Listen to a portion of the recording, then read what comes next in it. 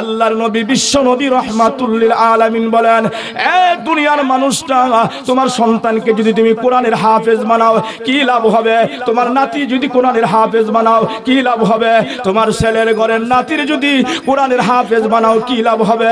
তোমার আত্মীয় স্বজন যদি কোরআনের হাফেজ বানাও, কি লাভ হবে? আল্লাহ রাব্বুল আলামিন হাসরের ময়দানে ডাকদা বলবে, ও কোরআনের হাফেজ, তুমি আসো, জান্নাতে যাও জান্নাতে যাও। কোরআনের হাফেজ বলবে রব্বুল আলামিন, আমি জান্নাতে যাব না। একটাই কারণ আছে, আমি জান্নাতে যাব না। যার প্রতি আপনি জাহান্নাম ওয়াজিব করে রাখছেন, যার প্রতি জাহান্নাম ওয়াজিব করে রাখছেন, এমন কঠিন লোক যদি আমি জাহান্নামতে মুক্তি করা জান্নাতে না যাইতে পারি, আমি জান্নাতে যাব না। আল্লাহ বলবে, হাফেজে কোরআন।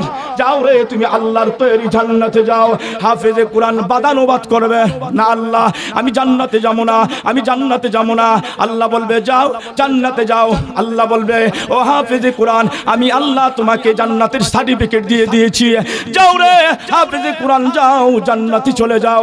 হাফেজে কোরআন বলবে, না, আমার আব্বা কই, আমার আম্মা কই, আমার দাদা কই, আমার দাদু কয় যারা আমাকে বাদ খাওয়াইছে একটা টেবিল গাড়ির বাড়ি দিয়া, সুবহানাল্লাহ, জোরে খান যারা আমারে পাঁচটা টাকা দিছে, যারা আমাকে ইউজিং রাখছে ভাই বন্ধুরা আমার, ও মহিষপুরের মা বোনেরা মাদ্রাসা ওই এখন হাস্তা নাই লাভ ঠিক কিনা বলেন, মাদ্রাসা, আল্লাহর কালাম তেলাওয়াত হয়, সকাল, সন্ধ্যাবেলা তেলাওয়াত হয়, ভোর চারটা বাজে ওইটা তেলাওয়াত হয়। আল্লাহর নবী বিশ্ব নবী, রাহমাতুল্লিল আলামিন এক হাদিসের মধ্যে উল্লেখ করেছে। আল্লাহ তাআলা বলেন, যেই দিন আমি যেই জায়গার মধ্যে আযাব নাজিল করে দেই, আমার সিদ্ধান্ত হলো, ওই জায়গার মধ্যে আমি আল্লাহ আযাব নাজিল করে দেব। হঠাৎ করে আমি দেখতে পাই, আমার বান্দা ছোট ছোট কসি মাসুম বাচ্চারা ভোর রাত্রে ওইটা যখন বিসমিল্লাহির রহমান রহিমা তেলাওয়াত করা আরম্ভ করে, আমি আমার রহমতের ফেরেশতারা কই, আমি আমার আযাবের ফেরেশতারা দেয়া কই ভাই ফেরেশতারা, যাইস না রে, ওই জায়গার মধ্যে আমার কালাম তেলাওয়াত করতেছে। সুবহানাল্লাহ ওই জায়গার মধ্যে আমার কালাম তেলাওয়াত করতেছে। এই জন্য কোরআনের হাফেজকে আল্লাহ বলবে যারে বান্দা, তুমি জান্নাতে যাও। আমি জান্নাতে যাইতাম না। আমার আব্বা কই, আমার আম্মা কই, আমার দাদা কই, আমার দাদু কই? ভালো করে বুঝেন, যার প্রতি জাহান্নাম ওয়াজিব হয়ে গেছে, দুনিয়ার জমিনে কোনো নেক আমল করে নাই, কিন্তু কালেমা পড়েছে, লা ইলাহা ইল্লাল্লাহু মুহাম্মাদুর রাসূলুল্লাহ। মান ক্বালা, লা ইলাহা ইল্লাল্লাহু ফাদাখালাল জান্নাহ। কিন্তু আমরা তো বর্তমানে কালেমাওয়ালা মুসলমান, ঠিক না? আমরা কি কালেমাওয়ালা মুসলমান? লা ইলাহা ইল্লাল্লাহ পড়ছি, কিন্তু নামাজও নাই, রোজাও নাই। ঠিক না? লা ইলাহা ইল্লাল্লাহ পড়ছি, নামাজও নাই, রোজাও নাই, যাকাতও নাই, হজও নাই। ছেলে সন্তান কোনো হাফেজও নাই, আলেমও নাই, পড়ছি তো কালেমা। বাপ হইল মুসলমান, আমি হইলাম মুসলমান, আমার দাদা হইল মুসলমান। না ভাই, চলবে না। কোরআনের সংবিধানের আইন নিয়ে চলতে হবে। এই জন্য সন্তানদেরকে যদি মাদ্রাসায় যদি পড়াতে পারেন, আল্লাহর নবী বলেন, কি লাভ হবে? কি লাভ হবে ভাইয়ের আমার? ও আমার মহিষপুরের মা বোনেরা, অনেকে রুজিং রাখতে কষ্ট হয়। কঠিন হাসরের ময়দানে যখন আল্লাহর কাছে ধরা পড়বেন, আর জাহান্নামের ফেরেস্তা দিয়া যখন, জাহান্নামের ফেরেস্তা দিয়া যখন জাহান্নামের শিকল নেয়া তাই না জাহান্নামে যাবে, তখন ওই কোরআনে হাফেজ বলবে, প্রভু গো, তুমি তো আমাকে জাহান, জান্নাতের সার্টিফিকেট দিয়েছ, জান্নাতের সার্টিফিকেট তুমি আমাকে দিয়েছ। আমার ওই লোকটা আমাকে একটা প্লেট ভাত খাওয়াইছে, ওই লোকটা আমাকে দশটা টাকা দিছে। আল্লাহ, ওই লোকটাকে জান্নাতে দাও। আল্লাহ বলবে, যা, কোরআনে হাফেজ, তুমি জান্নাতে যাও। হাফেজ বাদানুবাদ করবে, ঝগড়া করবেন যেমন কুটের মধ্যে দেখবেন কুট কাছারির মধ্যে দেখবেন, উকিল আর জজ, প্রেস্টার, এরা একটা বাদানুবাদ করে। আচ্ছা আদালত যে হয় যে আমাদের কেস মামলা কতটুকু সত্য? আচ্ছা সত্য দিয়া কি মামলা? আদালতে কি কতটুকু সত্য? আমি কয়েকটা কিছু করছিলাম যতলা মিশা কথা হো আল্লাহ আস্তা গফিরুল্লাহ হেসা কথার দাঁড় ধরেন। গতকাল একটা হুজুর, আমরা মিশা কথা কই না হেসা কথার দাঁড় ধরি না। আছে না হুন তো এই বাদানুবাদ হবে কোরআনের হাফেজ, আল্লাহর কাছে বলবে, আল্লাহ, এই লোকটা তুমি জাহান্নামে পাঠাই দিবা। তোমার কি মায়া লাগবে না? তুমি রাহমান, তুমি দয়ালু। তুমি বলছো না তোমার কোরআন যারা হেজবত করবে, তুমি তাদেরকে হেফাজত করবে। ইন্না নাহনু নাজ্জালনা ওয়া ইন্না লাহু লাহাফিজুন। তুমি বলছো না কোরআন দায়িত্ব তোমার? কোরআনের দায়িত্ব তোমার। এখন আমার দায়িত্ব তুমি, সুবহানাল্লাহ ইন্না নাহনু নাজ্জালনা যিকরা ওয়া ইন্না লাহু লাহাফিজুন।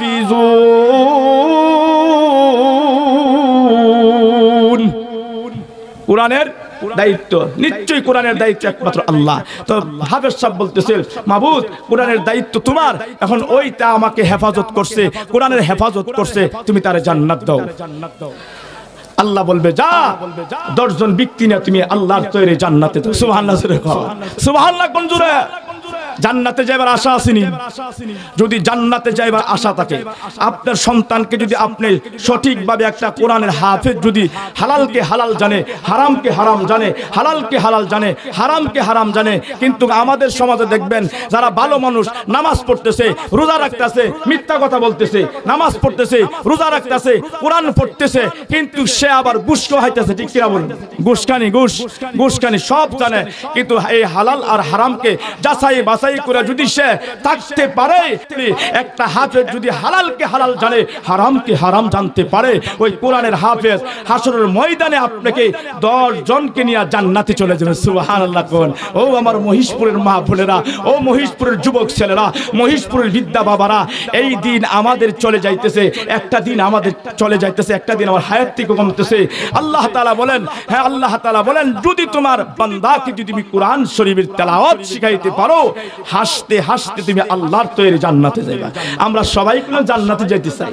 না, সবাই রহমতের আশা করি, সবাই বরকতের আশা করি, কিন্তু কাজে কামে নাই।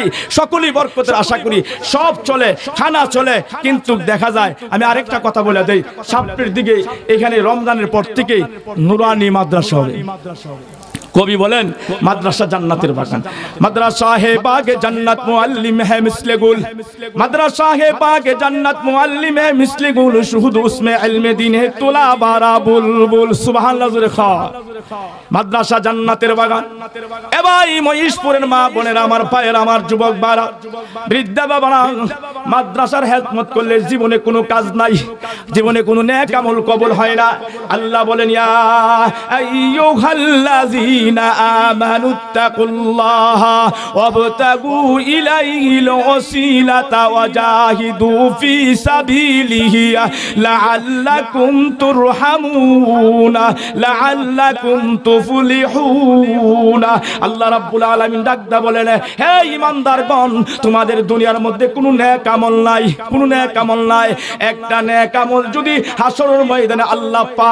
ওই করে আল্লাহ তাআলা আমার জীবনের গুনাহগুলি মাফ দিয়া, আল্লাহ তাআলা আমাকে জান্নাতে পৌঁছাইয়া দিবে, সুবহানাল্লাহ। আল্লাহ বলে, আমি হাসরের ময়দানে হালি তালাশ করব। আমার বান্দা, বান্দির একটা নেক যদি ইলাইহিল ওসিলাতা। আমার বান্দা করবে, মাদ্রাসার মধ্যে ছাত্র দিবে, মাদ্রাসার ছাত্রের রুজিং হাওয়াইবে, মাদ্রাসার মধ্যে সহযোগিতা করবে, টাকা দিয়া সহযোগিতা করবে, একটা বদনা দিবে, একটা লুডা দিবে। কিন্তু উজু করার জায়গা দিছে। তলে বল এলেমে তো দামি। আল্লাহর নবী বলেন, মাদ্রাসার ছাত্রর পায়ের নিচে আল্লাহর নূরের পাকা বিছাইয়া দে। মাদ্রাসার ছাত্রর পায়ের নিচে নূরের পাকা বিছাইয়া দেয় এই কথাটা করলাম নবী বইলা গেছে, কিন্তু কোন নর্তকী গায়িকার পায়ের নিচে পাকা বিছাইয়া দেয় না। আল্লাহ রাব্বুল আলামিন কোরআনের হাফেজদেরকে তোলে বলে এলেমদেরকে এত মহাব্বত করে। সত্য চব্বিশ ঘণ্টার মধ্যে কোরআনের হাফেজদেরকে মাদ্রাসার প্রতি আল্লাহ তালার রহমত নাজিল করে, রহমতের পাখা দিয়া আল্লাহ তালা বেষ্টন করে রাখেছে। এই জন্য আপনি যদি কোরআনের হাফেজকে হেফাজত করেন, মাদ্রাসাকে হেফাজত করেন, মাদ্রাসার মধ্যে সহযোগিতা করেন, মাদ্রাসার মধ্যে এক বস্তা চাউল দেন, মাদ্রাসার মধ্যে আপনি হাসি দেন, গুরু দেন, ঠিক কিনা বলে এখন কিলাম হাসি গুরু কইলাম, মাদ্রাসায় আয় না, হাসি গুরু যা বাবার দরবারে, ঠিক না? এ ভাই মুসলমান, যেই জায়গার মধ্যে দিবেন, এই জায়গার মধ্যে সুস্থ মাথা দিতে হবে। আল্লাহ আমারে বুঝ দিয়েছে আলামুনা জান্নাহু আইনাইন ওয়া নিসানাউ ওয়া শাফাতাইন। ওয়া হাদাইনাহুন নাজদাইনা আল্লাহ আমাকে বোঝার জন্য ব্রেন দিয়েছে। আল্লাহ আমাকে জিব্বা দিয়েছে। আল্লাহ আমাকে চক্ষু দিয়েছে। আল্লাহ আমাকে কান দিয়েছে বুঝার, দেখার, শোনার জন্য। আল্লাহ আমাকে চক্ষু দিয়েছে দেখার জন্য। যদি আপনি বুঝা যদি জাহান নামে যান জাহান নামে যাইতে পারেন। এই জন্য যত দান আছে, যত দান আছে, সদাকা আছে, সব কিছু মাদ্রাসায় দান করবেন। ওই মাদ্রাসার মধ্যে কোরআন পড়বে, আর মৃত্যুর পরে কবরে সোয়াব পস্তে থাকবে। ঠিক কিনা বলুন? অবাই মুসলমান, আমরা তো কোনো বিপদে পড়লে দূরাইয়া যায় ওই মাজারে যাই, ঠিক না? মাজারে যাই, বাজারে যাই। না না, আমি বিপদে পড়লে আল্লাহর নবী, বিশ্ব নবী রহমাতুল্লিল আলামিন বলেছেন, ও আমার উম্মতেরা, তোমরা যদি বিপদে পড়ে, কার কাছে চাইবা? বিপদে বললে কার কাছে চামো? ইয়া কানা ওয়া ইয়া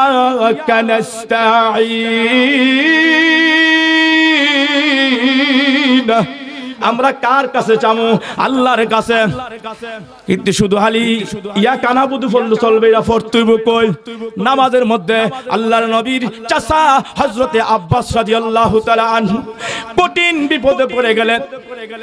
উজু বানাইয়া দুই রাকাত নামাজ পড়ে আল্লাহর কাছে সাহায্য চাই, ঠিক কিনা বলো আল্লাহর কাছে সাহায্য চাই। আব্বাস রাদিয়াল্লাহু তাআলার একদিন খবর শোনা গেছে একজন, ওনার সন্তান মারা গেছে। আমাদের সমাজে দেখবেন কয়ে মারা গেলে? আল্লাহ মাফ করার মালিক, কেউ মারা গেলে? দেখবেন দেখবেন জানাজার জন্য ফাগলিয়া জায়গা হ্যাঁ নিজের নামাজের খবর নেই। আছে না?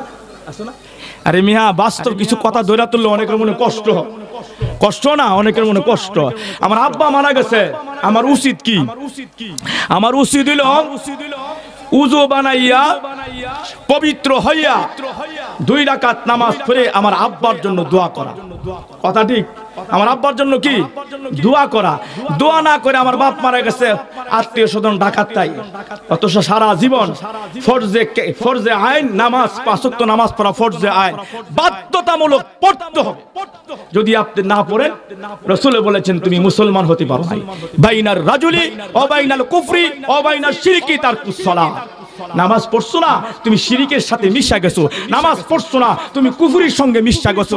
নামাজ পড়ছো না, কোরআন থেকে তুমি দূরে। নামাজ পড়ছো না, তুমি হাদিস থেকে দূরে। ঠিক কিনা হলো? তাহলে বাপ মারা গেছে। বাবার এই অনেকে কান্নাকাটি করে হ্যাঁ তা মায়া মহব্বত থাকবে একটা ভালোবাসা আছে। মায়া মহব্বত থাকবে, অসুবিধা নাই। মায়া মহব্বত তো থাকবই। কিন্তু না, আমরা দেখি আমার বাপ মারা গেছে, কিন্তু আমি নামাজও দাঁড়াই না। আমার বাবার জন্য আমার আব্বার জন্য দোয়া করি না। আমরা শুধু কান্নাকাটি করি আত্মীয় স্বজন, আত্মীয় স্বজনকে খবর দেই। আর অনেক আছে হা লোকটা আব্দুল করিম, আব্দুল রহিম মারা গেছে, যাই, শেষ দেহাটা দেখে। আছে না? শেষ দেহাটা দেখে আইতেছে। কি দেহা? শেষ দেহা। আর ছ মাস যে সাকরাত অবস্থা করে রইছে, আইলে তো কিছু নাস্তা লাগবো। টেয়া পয়সা অর্থ লাগবো। এই জন্য বাচ্চারা আয় না আত্মীয় স্বজন দেখার জন্য। কথা বুঝছেন না? নাস্তা লাগবো এই লাগবো, সেই লাগবো। এই জন্য আত্মীয় স্বজনটা দেখতে আসে না। অথচ মৃত্যুর সময় তার বাপ সকল চলে যায়, দুনিয়া থেকে বিদায় হয়ে যায়। দুনিয়াতে বিদায় হয়ে যায়, কিন্তু বাপের জন্য দুই রাকাত নামাজ পড়ে এই জন্য বাপ, মা ছেলে সন্তানকে যদি কোরআন শিখাইতে পারেন ওই সন্তান আপনার জন্য দোয়া করবে। ঠিক কিনা বলুন? কথা বলেন। এক নম্বর হলো একটা এক নম্বর হলো কোরআন যে শিখাইছেন না সন্তানদের কোরআন যে সন্তানদের শিখান না ছেলে মেয়েরে কোরআন শিখাইছেন না না শিখানোর কারণে আপনার মৃত্যুর পরে হালি হাত নিয়া হালি হাত নিয়া বা ইজিদ বুস্তামি রহমাতুল্লাহ আলাই হালি হাত নিয়া জুনাইদ বুগদাদি রহমাতুল্লাহ আলাই হালি হাত নিয়া আল্লাহর অলি আল্লাহর অলি শাহজাল রহমাতুল্লাহ আলাই হালি হাত নিয়া হাজা মঈনুদ্দিন চিশতি হাজা মঈনুদ্দিন চিশতি রহমাতুল্লাহ আলাই হালি হাত বড় পীর আব্দুল কাদের জিলানি, হালি হাত নিয়া আর বড় পীর আব্দুল কাদের জিলানির কাছে একজন আলেম আসছে, মুড়ি দেওয়ার জন্য। খা কিসের জন্য? মুড়ি দেওয়ার জন্য আসছে। কথাটা আমি রাখি, সুন্দর একটা কথা শুনেন। মুড়ি দেয়া বড় পীর আব্দুল কাদের জিলানির বাড়ি, ঘর, দালান কোটা বিল্ডিং দেখা যেই লোকে আপনার মুড়ি দিতে আসতে আয়সা দেখে বড় পীর আব্দুল কাদের জিলানির বাড়ি, ঘর, বিল্ডিং। কত বড় বিল্ডিংগুলার মালিক আল্লাহ কেমনি? ঠিক কিনা? আমরা হুজুরের কই বিল্ডিংগুলো ক বাবা রে বেটা, দুনিয়াটা লইছে ঠিক না? দুনিয়াটা লইছে কিন্তু কিছু ইমামদের শান শকত থাকলে, কিছু ইমামের টাকা বসইলে ক, এত হাবলান হাবলা আর হে সুদের ব্যবসা করে হারামের ব্যবসা করে ঘুষের ব্যবসা করে বাড়ি পাঁচতলা বানাইয়া, মেয়ে ছেলের উলঙ্গ কইরা, রাস্তা নামাইয়া দিয়া, হে গেছে গা মইরা। ঠিক না? তাহলে এই জন্য বড় পীর আব্দুল কাদির জিলানির কাছে একজন লোক এলেন বড় আলেম, মুরিদি হওয়ার জন্য। মুরিদি হওয়ার জন্য আসলে এইগুলি দিক কেমন অফাক হয়ে গেলেন ব্যাপারটা কি কারণটা কি? এত দালান, কোটা বিল্ডিং, এত এত- সাজ গুছ কোন আমি মরে যেতাম না। আল্লাহ রাব্বুল আলামিন বড় পীর আব্দুল কাদের জিলানী রহমাতুল্লাহ আলাইহি কাশফের মাধ্যমে জানাইয়া দিবেন ও, তোমার কাছে যে মুরিদ দিতে আসছে, সে বলতেছে, এত দালান কোটা দেয়া কি করবা? বড় পীর আব্দুল কাদের জিলানী রহমাতুল্লাহ আলাইহি হাদেমকে ডাক দিলেন হাদেম? একটা গ্লাস পানি নাও। একটা গ্লাস পানি নিয়ে ওই যে আলেম আমার কাছে মুরিদ দিয়ে আসছে। যে আলেম আমার কাছে মুরিদ হয়ে আসছে, ওই গেলা- গ্লাসটা তার হাতে দিবা। গ্লাসটা হাতে দিয়া চতুর্দিক দিয়ে বাড়িটা ঘুরতে দিবা। যেই বাড়িটা আছে, চতুর্দিকে বাড়িটা ঘুরে আসবা। একটা গ্লাস পানি নিয়ে যাতে একটা পোড়া গাড়ি, একটা পোড়া পানি না পড়ে জমিনের মধ্যে। আর বড় পীর আব্দুল কাদির জিলানি রহমাতুল্লাহ একটা বড় একটা লাড়ি দিছে। লাড়ি দিয়া কুছে যদি একটা ফোঁটা পানি পড়ে টাস করে বাড়ি মারবা। এখন লাড়ির বই আছে, আর শুধু পানির দিকে তাকাইয়া থাকে। চতুর্দিকে ঘুরতে ঘুরতে ঘুরতে ঘুরতে একটা পুঠা পানি পড়ে না। হ্যাঁ আব্দুল কাদির জিলানি রহমাতুল্লাহ আলের দরবারে গিয়া বলতেছে, তার হাদেম বলে, হুজুর, একটা পুটা পানি পড়ে নাই, আমি তো লাঠি তার মাথার উপরে রাখছি। তখন ওই আলেম সাহ চিন্তা করে দেখে, কোরআনের হাফেজ ও আলেম, চিন্তা করে দেখেন, হায় রে, আমি কার ভুল ধরতাম আসছি আমি তো সর্বদাই পানির দিকে আমার হিয়াল, লাঠির দিকে আমার হিয়াল নাই। বড় পীর আব্দুল কাদির জিলানি রহমাতুল্লাহ আলাই বলেন, ও আলেম, তুমি শুনে রাখো রে, আমি তো কতক্ষণ শুধু অপেক্ষা করতে থাকি, কোন সময় আল্লাহ তারা আজরাহিল জন্য ও আলেম জেনে রাখো তার মধ্যে কোরআন আছে তার মধ্যে হাদিস আছে, আল্লাহ রাব্বুল আলামিন বলে সব চাইতে বেশি বই করে উলামাই কেরাম, ইন্নামা ইয়াখশাল্লাহু মিন ইবাদিহিল উলামা সব চাইতে বেশি বই করে সিনার মধ্যে কোরআন আছে, যার সিনার মধ্যে আলেম আছে, যার সিনার মধ্যে কোরআন আছে, যার সিনার মধ্যে হাদিস আছে, সে আল্লাহরে বই করে এই জন্য তলে বলে এলেম মাদ্রাসার ছাত্ররা দেখবেন, সাত বছর, আট বছর বয়সের মাদ্রাসার ছাত্ররা দেখবেন, সামনে রমজান মাস আসতেছে, দেখবেন সাত বছর, আট বছর, দশ বছর বাচ্চারা রোজা রাখবে, ঠিক কিনা বলুন? আচ্ছা অসুবিধা নেই একদম দেন নারে তাকবীর আল্লাহু আকবার। দিন ইসলাম দিন ইসলাম। জিন্দাবাদ জিন্দাবাদ। শহীদুল ইসলাম আউজামে শেখের আগমন। শুভেচ্ছার স্বাগতম। মহিষপুরের পক্ষ থেকে লাল গোলাপ শুভেচ্ছা। লাল গোলাপ শুভেচ্ছা। মহেশপুরের পক্ষ থেকে। নারে তাকবীর। সম্মানিত এলাকাবাসী সম্মানিত এলাকাবাসী আপনারা যেখানে আলহামদুলিল্লাহ। একের পর এক ধারাবাহিক ওলামাই আসতেছে। আপনারা হুসিনা বেজার কিন্তু একটা লোক বেজার, শয়তান বেজার। ঠিক কিনা বলেন? আমার তো সমস্যা দুইটা কথা বলে দিয়ে যাই। আজ বর্তমানে সমাজের মধ্যে যে ডেক সেট লাগাইছি আমরা, এই ডেক সেট লাগাই গান বাদ্য নি সম্পূর্ণ হারাপ, ইহুদি ইহুদি খ্রিস্টানদের কৃষ্টি কালচার। কার কৃষ্টি কালচার? ইহুদি খ্রিস্টানের কৃষ্টি কালচার। যেই সমাজের মধ্যে আজকে আমরা বলতে চাই, সমাজের ছেলেরা ভালো নাকি? বাচ্চা কেন ভালো হয় না? বিয়া শাদির মধ্যে দুল পিটাইয়া, গায়ে হলুদ দিয়া, উলঙ্গ হইয়া, ওই বিবাহটা হইলে হারাম। ওই হারামের কর্তৃকে আরাম বাড়িব?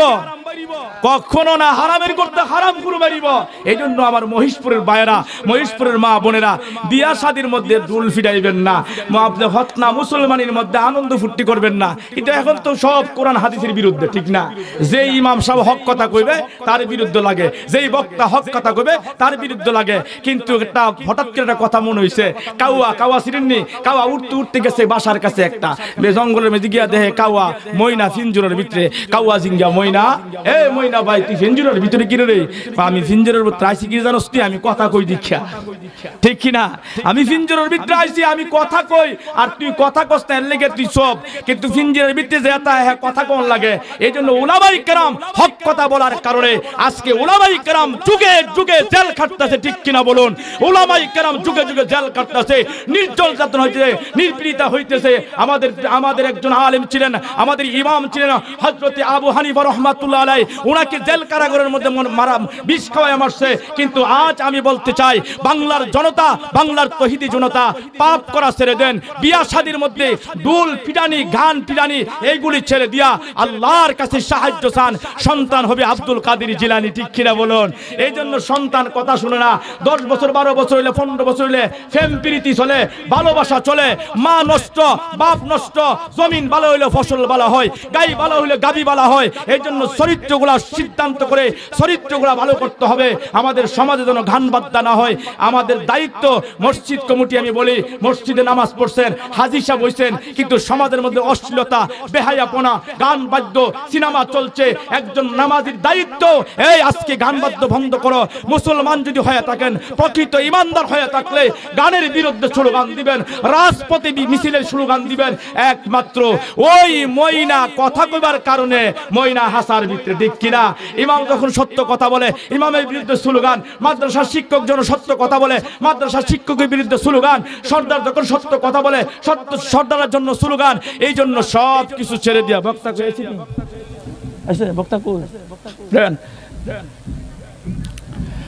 তাহলে আমার কথাগুলি অনেকের কষ্ট, আমি কোনো কঠিন কথা কই। আর আজকে বর্তমান দেখেন বিভিন্ন ফেসবুক এই ফেসবুকে ওলামা ইকরামের মাহফিলে মিজে বাধা দেয়, ঠিক না? এই মিয়া উতিল্লিম বাদা জালিকা জানিন সূরা কলমের আয়াতে আল্লাহ বলছেন যে এই ব্যক্তি কোরআনের বাধা দিবে, আলেম ওলামার বিদ্রুপ করবে, তারা জাউরা সন্তান, পিতৃহীন সন্তান। এই জন্য একজন অলিদ ইবনে মুগিরা ছিলেন জাউরা সন্তান। কিন্তু দেখা যায় আজকে অনেক মাহফিলের মধ্যে দেখবেন ওলামাই কেরামকে মারতে যায় ওলামাই কেরামকে মন্দ বলে, মাহফিলে বাধা দেয়, কোরআনের মাহফিলে বাধা দেয়, হাদিসের মাহফিলে বাধা দেয় ওলামাই কেরামের বিরুদ্ধে কথা বলে, কেন?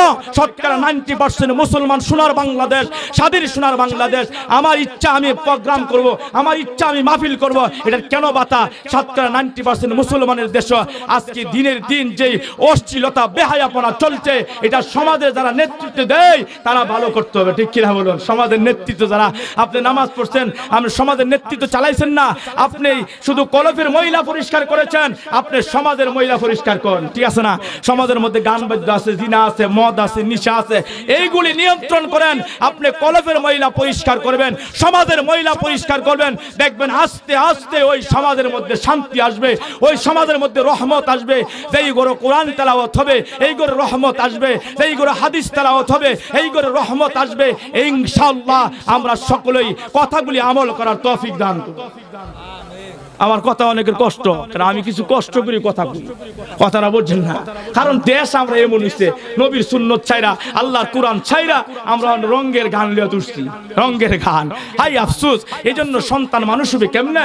সন্তানটা মানুষ হইতে গেলে আপনার একমাত্র সন্তানদেরকে দিনী শিক্ষা দিতে হবে, কোরআন শিক্ষা দিতে হবে, হাদিস শিক্ষা দিতে হবে।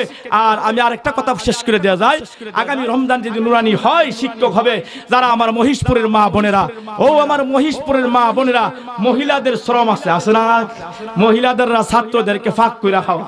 আর আপনারা টাকা কামাই দেন, কিন্তু মহিলাদেরও আল্লাহ তালা হায়াত বাড়ায় দক মহেশপুর গ্রামের মা বোনদেরকে আল্লাহ তালা রাবিয়া বস্তির মতো বানায় দক আল্লাহ তালা মহেশপুরের মা বোনদেরকে হাতুনে জান্নাত হজরতে ফাতেমা জোহরা রাদি আল্লাহ তালা আনহার মতো বানায় দক আমার যুবক ভাইদেরকে হালিদ বিন অলিদের মতো বানায় দক আমার বিদ্যা বাবাদেরকে আবু বক্কর সিদ্দিকের মতো বানায় দক উমরের মতন বানায় দক আলীর মতন বানায় দক ঠিক কিনা বলো? ঠিক কিনা বলো মনে আসেনি ইনশাআল্লাহ আপনারা আমি যে কথাগুলো বলছি আমল করার চেষ্টা করবেন।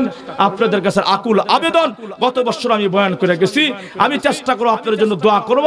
আপনারা সমাজের যত মহিলা আছে আবর্জনা আছে ভাই দুঃখ ভরা মন্নাত কষ্ট লাগে। আজকে আমরা গুণার মধ্যে হাবুডাবু হাচ্ছি আমরা হারামের মধ্যে হাবুডাবু হাচ্ছি আমরা এই গুণা করতে করতে ষাট বছর পঞ্চাশ বছর জিন্দিগি। আল্লাহ রসুল বলছে একটা মানুষ কয়দিন বাঁচবে? বিশ হইলে ষাট সত্তর বছর।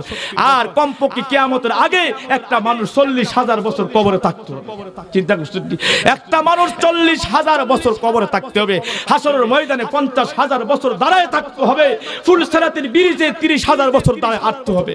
আহ ফুল সেরাতের ব্রিজের নিচে হলো জাহান্নাম। আপনার নেক আমল নাই? ফামাইয়া আমাল মিসকালা ফামাইয়া আমাল মিসকালা। আপনার যদি নেক আমল না থাকে, বিন্দু পরিমাণ যদি নেক আমল না থাকে ফুল সেরাতের ব্রিজে আপনি পাড়া দিবেন কাইটটা আপনি জাহান্নামে চলে যাবেন। ও ভাই, আমরা কালেমালা মুসলমান, অন্তর থেকে হিংসা ছেড়ে দেই, নিন্দা ছেড়ে দেই গুনাহ ছেড়ে দেই, বদনাম ছেড়ে দেই, শাকায়ত ছেড়ে দেই, জিনা ছেড়ে দেই, সুদ ছেড়ে দেই, গুড় ছেড়ে দেই, শত হারাম কাজ আছে সব কিছু ছেড়ে দিয়া আল্লাহর কাজ করে দাঁড়ায়া বলেন, আল্লাহ জীবন ভরা তোমার নাফরমানি করেছি, আমার ষাট বছর আমি গুনাহ করতে করতে পাহাড় পর্যন্ত করে ফেলেছি, আল্লাহ আমার জিন্দগির গুণাগুলি তুমি মাফ করে দাও, দুইটা চোখের পানি আপনি ছাড়তে দেরি হবে, আল্লাহ বলবে, লা লা তাকনা তুমি রহমাতিল্লাহ, লা তাকনা তুমি রহমাতিল্লাহ, বান্দা আমার রহমতের কোনো অভাব নাই। বান্দা, যা তোরা আমি মাফ করে দিলাম সুবহান তো মাফ চাই তুই মাফ চাই তুই অনা, আমরা তো মাফ, এমন তাহলে মাফ চাই। এমন মুসল্লি আছে, আজকে নামাজ পড়ে গেলে এক সপ্তাহ মসজিদে নাই।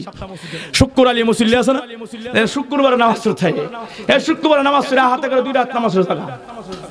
ঠিক না? জ্বালা উঠলে, আশের জ্বালা এরা আশের জ্বালা উঠে। মসজিদ এলে আশের জ্বালা উঠে। আরেকবার মসজিদ বাইরে আমি একদিন গেছি একটা নামাজ পড়তাম, আগে ঢুকছি। আগে ঢুকছি, বাইরেছি পরে। তো আমার ড্রাইভার দিনকে হুজুর, এত সময় কারণ গিয়ে ওয়াজ করতেন না। আমি ওয়াজ আগে না, নামাজ আগে? কথাটা বুঝছেন না? ওয়াজ আগে না, নামাজ আগে? হুজুর সময় আমি কি বাইরে? আমি সবসময় মসজিদে হামাই আগে বাইরেই পরে। কারণ আল্লাহর সাথে দিদার আমানু আশাদ্দু হুব্বাল লিল্লাহ। আল্লাহ বলে, বান্দারে, আমার সাথে ভালোবাসা কর।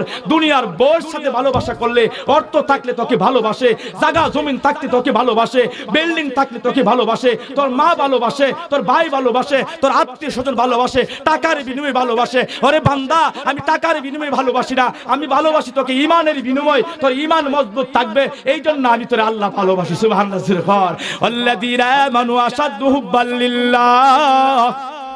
আল্লাহ বলেন, তোরা আমি ভালোবাসি রে বান্দা, তোরা আমি ভালোবাসি, এমন তোকে ভালোবাসি আমি যে ভালোবাসা পৃথিবীর কেউ তোকে ভালোবাসবে না।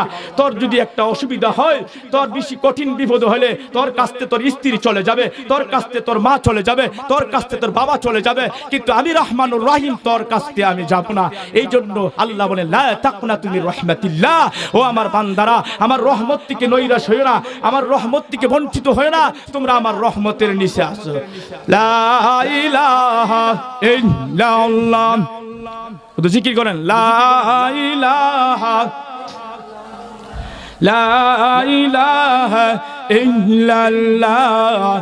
লা ইলাহা ইল্লাল্লাহ। লা ইলাহা ইল্লাল্লাহ ও লা ইলাহা ইল্লাল্লাহ লা ইলাহা ইল্লাল্লাহ লা ইলাহা ইল্লাল্লাহ লা ইলাহা ইল্লাল্লাহ লা ইলাহা ইল্লাল্লাহ মুহাম্মাদুর রাসূলুল্লাহ সাল্লাল্লাহু আলাইহি ওয়াসাল্লাম ওয়াজে বসলে জিকির করলে কিছু জিকির করেন। এমন লোক আছে, এমন অনেক মাহফিলে প্রায় অনেক মাহফিলে দিহি এই যে জিম্মেরা বইছে। আর মুগদা সুবহানাল্লাহ কোনা। আরে মিয়া, একবার সুবহানাল্লাহ বিহামদি কইলে আল্লাহর রাসূল বলেছেন, এক লক্ষ চব্বিশ হাজার নেকি দান করেন। সুবহানাল্লাহ জোরে কর। একবার সুবহানাল্লাহ বিহামদিহি এক লক্ষ চব্বিশ হাজার নেকি দান করেন। সুবহানাল্লাহ কইতেন না। তো কিছু বইলে প্রধান বক্তা তো আসবই। কিছু বইলে হানা কইেন কিছু একটা এশক উড়াই দেয় কারণ অনেক মাহফিলে দেখবেন আমাদের এই গানের সুরে একটু জিকির করলে একটা এশক উড়ে আছে না দেখেন এমনি একটা লারা মারে। ঠিক না? আর জিকির ঠান্ডা মাথা করবেন। লা ইলাহা ইল্লাল্লাহ। এ মিয়া, লা ইলাহা ইল্লাল্লাহ মুহাম্মাদুর রাসূলুল্লাহ সাল্লাল্লাহু আলাইহি সাল্লাম।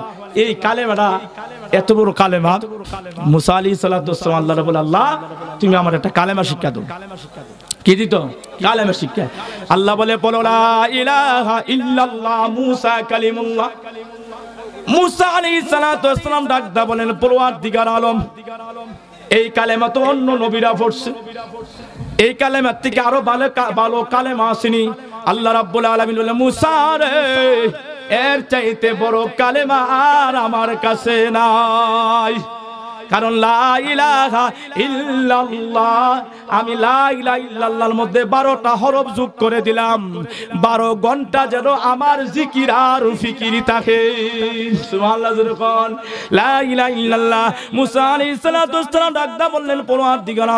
আমাকে কালেমা শিক্ষা দেন। আল্লাহ বলেন, বলো, লা ইলাহা লা ইলাহা এর কালেমা নাই। লা